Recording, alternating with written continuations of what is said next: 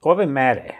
donekle, po mom mišljenju, doprinosi većem poverenju u, rad suda. E, I treba,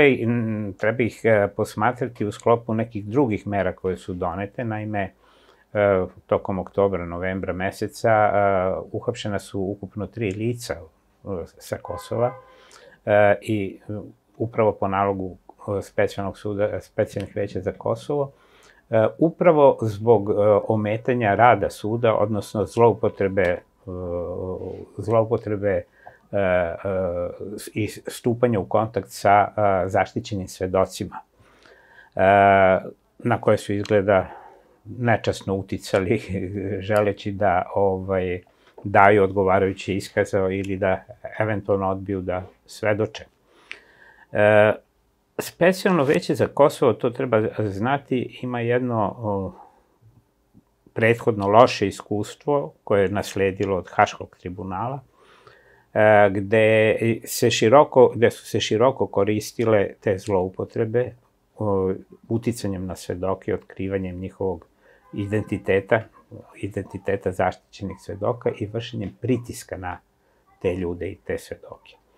E, podsjetit ću vas da je u predmetima Haradinaj i Limaj, to su dvojica od glavnih optuženih,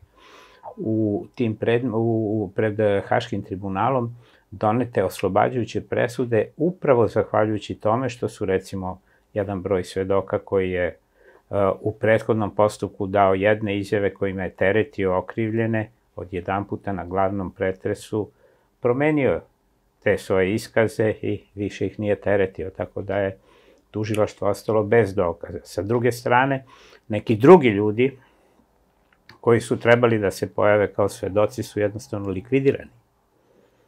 E, drugim rečima, mogo se izvući vrlo jasan zaključak da otprilike oni koji nisu prihvatili tu ponudu da promene iskaz, da su se njih oslobodili na ovaj način, a drugi su sebe čuvali promenili iskaz, odbili da svedoči i tako dalje. I ovaj, e,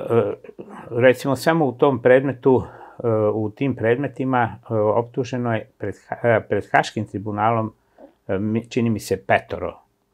tih ljudi koji su uticali na svedoke i oni su prošli sa vrlo blagim kaznama. Čak jedan je, mislim, oslobođen,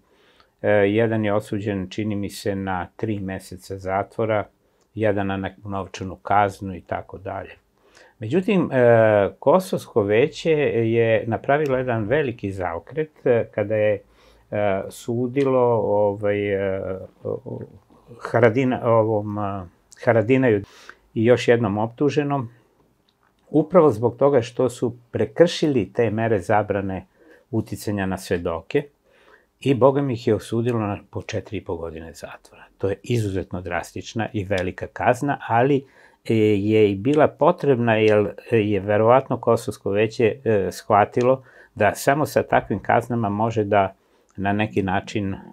onemogući te, to uticanje na svedoke, jer to nije samo uticanje na svedoke, jer iza toga stoje takve pretnje koje su u mnogim situacijama bile i realizovane.